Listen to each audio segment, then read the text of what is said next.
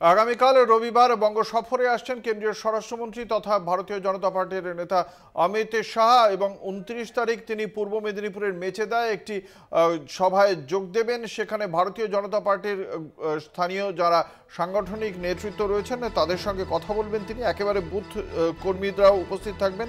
মেদিনীপুরের তিন জেলার বুথ কর্মীরাই উপস্থিত থাকবেন সেখানে।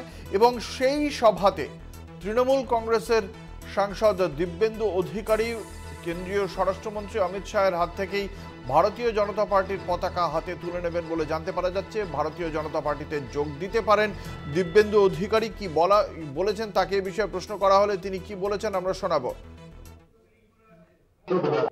জয় শ্রীরাম প্রকৃত কোনো বাধা নেই। জয় শ্রীরাম তো কোনো রাজনৈতিক দলের কোনো এ নয়।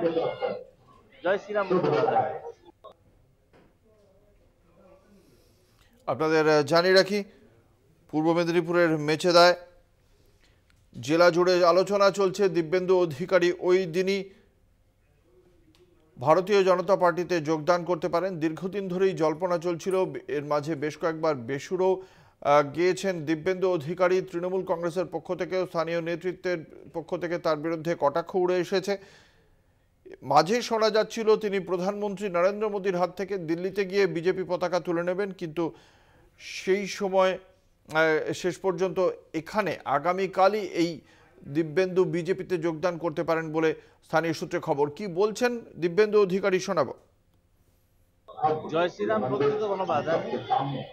জয় শ্রীরাম তো কোনো রাজনৈতিক দলের কোনো এ নয়। জয় শ্রীরাম বাধা নেই।